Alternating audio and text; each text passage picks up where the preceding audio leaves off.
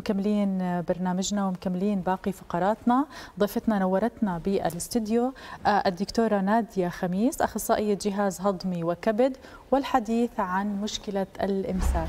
صباح الخير وأهلا وسهلا فيك دكتورة. صباح الخير هبة صباح الخير لانا. صباحك خير دكتورة. يعني دكتورة نادية أول شيء إحنا بنعرف إنه يعني مستشفى الجامعة الأردنية من المستشفيات اللي عليها ضغط يعني كباقي المستشفيات الحكومية لكن عليها ضغط كتير كبير ويمكن من خلال تجربتك عم بتشوفي الناس وخصوصا بالفترة الأخيرة بيعانوا من موضوع الإمساك. ويمكن تكون الإمساك يرافق أدوية معينة حالة صحية هي أو مؤشر إنه جهازنا الهضمي فيه مشاكل. فخلينا نحكي للناس بداية عن التعريف وبعدين بننطلق للتفاصيل. أه. زي ما حكيت مشكلة الإمساك مشكلة شائعة جدا. في كل المجتمعات. صح. الإمساك بداية هو عبارة عن تغير في نمط عادة الإخراج عند المريض. عادة بتصير كمية أو التكرار الإخراج أقل من العادي أو أنه صلوب صلابة البراز أكثر أو المريض بيعاني من جهد وصعوبة أثناء عملية الإخراج. بس دائما بنحب ننوه لشغلة أنه لازم نعرف عادة المريض اللي أصلا هو متعود عليها. يعني في مريض ممكن يكون هو بيخرج أصلا يوم بعد يوم طول حياته ومريض ثاني ممكن بيخرج باليوم ثلاث مرات. فإحنا لازم نسأل المريض في البداية أنت أصلا شو عادتك وشو التغير اللي صار نعم. عليها. بالطب التعريف الطبيعي للإخراج هو من ثلاث مرات باليوم إلى مرة كل ثلاث أيام. بس زي ما اتفقنا بنرجع لقد هو المريض كان بيخرج عادة. نعم. بالإضافة لصلابة البراز والصعوبه أو الجهد إذا اللي بعد أثناء ثلاث أيام بنقدر نعتبر إنه الشخص عنده مشكلة الإمساك ولازم يراجع الطبيب ولا ممكن يقعد أكثر. آه هلا هاي نقطة مهمة. انت قلتي بعد ثلاث أيام إذا كان المريض أصلا مثلا بيخرج كل يوم بس بالزبط. اذا هو صار له سنوات من طول عمره من هو طفل صغير بيخرج كل ثلاث أيام فيمكن يكون هذا الوضع الطبيعي له. سألتي سؤال مهم اللي هو متى أنا أراجع الطبيب؟ بالزبط. هلا دائما في مؤشرات بنسميهم ال alarming signs هذا المريض لازم يروح على الطبيب إذا صار واحد اثنين ثلاثة. أول شيء إذا كان المريض عادته طول عمره بشكل معين بيروح مرة أو مرتين بالنهار وبعدين صار في تغير حديث في الإخراج وخصوصا في المرضى اللي عمرهم فوق ال 45 سنة مم. الشغلة الثانية إذا رافق الإمساك نزول في الوزن وغير مبرر يعني مش البني آدم عم بيعمل حمية بلشت شهيته على الأكل تخف ووزنه عم بينزل مم. إذا لاحظ المريض وجود دم أو آه تغير في لون البراز آه إلى الأسود الداكن هاي مؤشرات إنه المريض لازم يروح يراجع آه طبيبه بشكل عام أكثر الحالات ما بتكون في معها حالة مرضية. للإمساك. يعني معظمها بنسميها إحنا وظيفية functional لكن في حالات مرضية ممكن تكون تؤدي للإمساك. الأشياء اللي قلناها قبل شوية عن نزول الوزن وكذا ممكن تكون مؤشرات لورم في القولون لا سمح الله. نعم. بس هم نسبة قليلة كثير من المرضى اللي بيعانوا من الإمساك. في أسباب ثانية مثلا السكري الهبوط أو خمول نشاط في الغدة الدرقية. صحيح. بعض الأدوية زي ما ذكرتي في أدوية زي الكالسيوم الفيتامين D وأدوية أخرى برضه.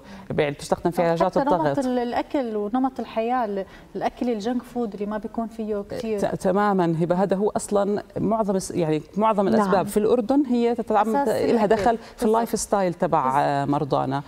اللي ممكن يكون ال junk food أكل ما فيه نعم. fibers ممكن المية. مي ما بيشربوا المرضى.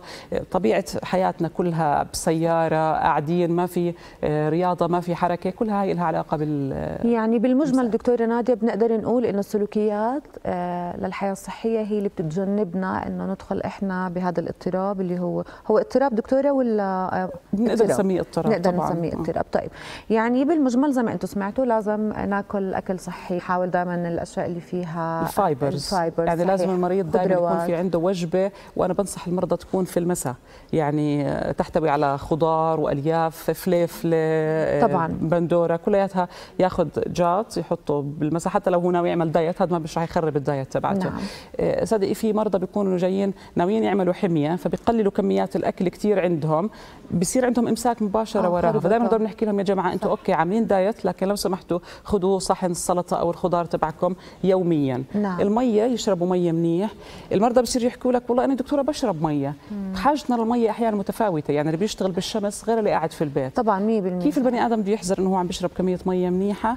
بده يطلع على لون البول تبعه. صحيح. إذا كان لون البول فاتح معناته عم بيشرب كفايته من المية. نعم. الشغلة المهمة كثير اللي هي تعويد القولوننا أو امعائنا على وقت معين للإخراج اللي هي هاي بنسميها الباول هابت كل شيء عادة. وحتى الإخراج عادي صحيح. فدائما بنقول للمرضى بالليل خذ رجات السلطه اللي اتفقنا عليه ثاني يوم الصبح اصحى نص ساعة إلى 20 دقيقة قبل دوامك لأنه دائما بقول للمرضى لو لاحقك أسد بتقدر تروح تفوت آه، وتعمل الاخراج ما راح تقدر لأنه بيكون الأدرينالين عالي. طبعا. فبصير تثبيط دماغي لهي الأشياء. أنت ملحوق بالدوام ما راح تلحق وتروح. طيب دكتورة ف... شو الصلة بين فنجان القهوة أو النسكافيه الصبح وإخراجنا بسهولة أو بسرعة. ممتازة. في رابط؟ في رابط طبعا في شيء اسمه gastrocolic reflex يعني أنت مجرد ما يدخل شيء للمعدة واللي إحنا متعودين عليه دائما هو القهوة أو النسكافيه آه، بصير في بتحرض عملية على الإخراج. هاي نصيحة أنا بنصحها للمرضى. بقول له لو سمحت تشرب لك فنجان قهوة صغير. آه، هو الحليب بيعمل إمساك فإذا كانت النسكافيه black بيكون أفضل آه. شوية. القهوة محرشة للإخراج. ويصحى قبل دوامه. أكيد. آه، مشان يلحق ويكون في عنده relaxation لما بفوت على ال toilet يعني ياخذ وقته وراحته. الحركة الحركة. آه، لأنه القولون بيتحرك زي ما بيتحرك البني آدم. فإذا أنت طول الوقت قاعد ما راح تمشي الإخراج. نعم. آه، يعني مالي هدول هم الأشياء. هلأ معظم المرضى بيتحسنوا عليهم. في جزء بيحتاج مثلا بعض الوصفات الشعبية اللي إحنا طبعا دائما نحكي باعتدال. ينسون كمون شومر كل هاي الأشياء ممكن تساعد في الإخراج.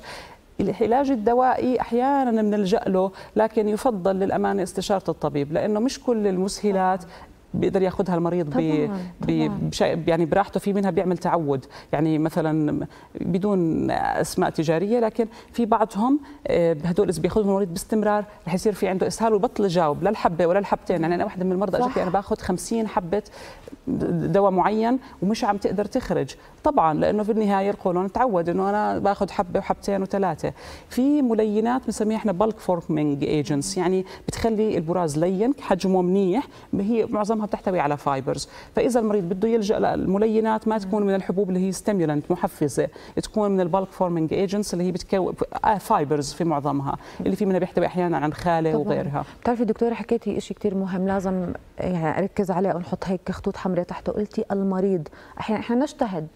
بنروح آه، بنشتري شاي بنروح بنشتري من الصيدلية بتذكر في دواء بديش أحكي الاسم أو لون أو لون العلبة عشان الواحد هو لحاله ينظم بقول لك هو هو يعتقد إنه لأنه الناس بتفوت كل يوم على التواليت لا هو إنه عنده مشكلة لأنه كل يومين أو كل ثلاثة بالضبط فإحنا لازم كل هذا تحت إشراف طبي يفضل عند الاستخدام العلاج الدوائي إنه إحنا نرجع لطبيبنا نتأكد رقم صحيح. واحد إنه ما في مشكلة عضوية هي طبعاً. سبب الإمساك طبعاً. رقم اثنين شو هو نوع العلاج اللي أنا ممكن اخذه صحيح. مش ضروري إنه أنا أضلني كل ما بدي اصرف العلاج أروح أرجع أكيد. للطبيب لكن أنا بحكي الخطوة الأولى step 1 تأكدنا كل شيء normal بعدين إحنا نمشي. دكتورة آه، في شاي كمان بتذكر حتى حدا من صحباتي أخذ وصار عندها كسل بعدين فيما بعد وهذه التأثيرات ومضاعفات سلبية. هي ال herbals في منها جزء أو الشغلات تبعت العطارين بتؤدي لفشل في الكلى فشل في الكبد فإحنا بنكون زي ما قلت لكم دائما نكون حذرين. الأشياء اللي متعارف عليها عامة نعم. ممكن إحنا ناخذها بإعتدال. هبه طيب. بتاخذي زيت زيتون؟ آه. بما إنه إحنا بموسم الزيتون شو رأيك الزيتون جيد. آه بس هبه بتاخذيه ولا ما بتاخذيه calories كثير فيه calories كثير الزيتون بس هو منيح للإخراج آه، okay. طيب okay. دكتورة نادية هلأ إحنا بحياتنا ممكن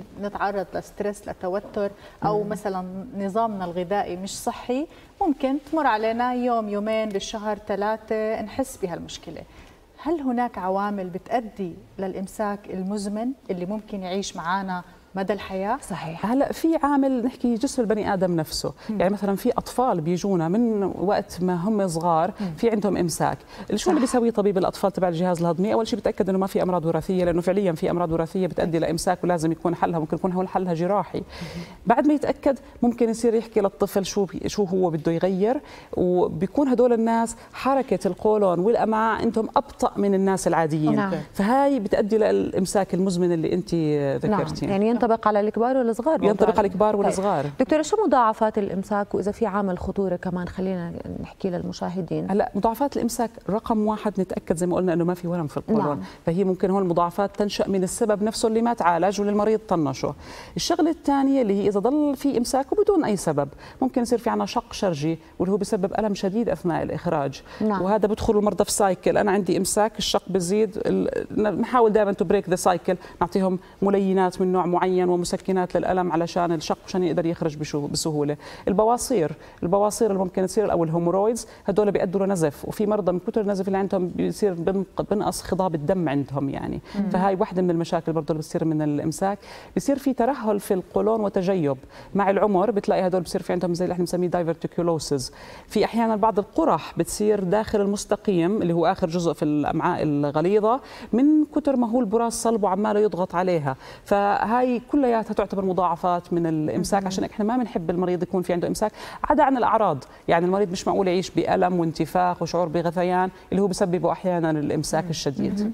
اختلال الهرمونات وداء السكري والغدة الدرقية ونشاطها قد إيه ممكن يأثر على مشكلة الإمساك؟ هو واحدة من الأسباب المهمة لها فإحنا لما يجينا المريض عنده uncontrolled diabetes يعني السكري تبعه مش مزبوط واحدة من أعراضه الإمساك دائما بنقول لهم لو سمحت روح على طبيب الغدد وخليه هو يظبط لك أمور السكري. إذا كان عندنا فرط أو الغدة بالعادة اللي بسببها اللي هو خمول الغدة خمول الدرقيه, الغدة الدرقية. مش الفرط في النشاط. نعم. خمول الغدة الدرقية السكري عدم انتظامه. آه اللي هو بالعادة بيكون عندهم نسبة مستوى السكري التراكمي مرتفعة في الدم فهي بتأثر على حركة الأمعاء والمعدة أيضا وبتؤدي إلى الإمساك في غالبية نعم. المرضى. طب دكتورة في رابط آه، غريب بين الحوامل وموضوع الإمساك. آه هلا الح... موضوع الإمساك في الحوامل هذا موضوع جدا متكرر. صحيح. آه الحامل أول شيء بتعاني من تغيرات جدا عديدة في الهرمونات. بالزبط. الشغلة الثانية البيبي اللي بيعمل بيعمل ثقل على القولون بيأثر على قدرتها على الإخراج. برضه برضه الدفع آه، أثناء عملية الإخراج بيكون آه. مختلف عن الإنسان الطبيعي اللي ما عندها حمل يعني. آه، الستات اللي بيكون في عندهم عدة أحمال يعني أحمال متكررة وولادات طبيعية أحيانا بتأثر على قوة العضلات نعم. اللي في منطقة الحوض وبتأثر على الدفع بتؤدي للامساك في جزء منهم. واحيانا للأسف بتؤدي لعدم القدرة على السيطرة على الإخراج. دكتورة امبارح وأنا عم بقرأ عن الموضوع صراحة لفت نظري كلمة أن تكوني امرأة من أحد عوامل اللي ممكن تساعد إنه أنت تصابي بالإمساك المزمن. أو البلوغ. شو السبب؟ أو البلوغ. البلوغ أن تكون بالغا آه أن تكون أن بالغا تكوني امرأة أن, تك... أن تكون بالغا لأنه كل معظم مشاكل الإنسان بتزيد مع البلوغ مم. الأطفال بتحركوا كثير صح. يعني حركة ممكن يكون أحيانا بيشربوا مية بياكلوا خضرة أكثر من الكبار اللي بيشتغلوا آه زينا هم كم وجبة اللي عماله يأكلهم مم. الشغلة الثانية أن تكوني امرأة تكرار الحمل والولادة الطبيعية تغيرات جسمها الهرمونية وأحيانا كثير من الستات شغلهم بس بالبيوت مم. يعني ما في طلعة ما في حركة, ما في حركة. عدم ممارسة آه الرياضة آه. يعني بالمجمل دكتورة نادية أسلوب حياتنا كثير مهم بموضوع اضطراب الإمساك نراقب أنفسنا حتى موضوع النوم يعني هذا الجسم اللي إحنا عايشين فيه هو بحاجة لنظام. فواحد من الأشياء اللي بدنا ننظمها غير المي والرياضة والأكل الصحي موضوع النوم لأنه كمان بيأثر على تركيبة جسمنا. يعطيك ألف عافية. ويعني جهودكم دائما مباركة وإن شاء الله يا رب إنه كل الناس اللي عم بيحضرونا استفادوا من معلومات هاي الفقرة.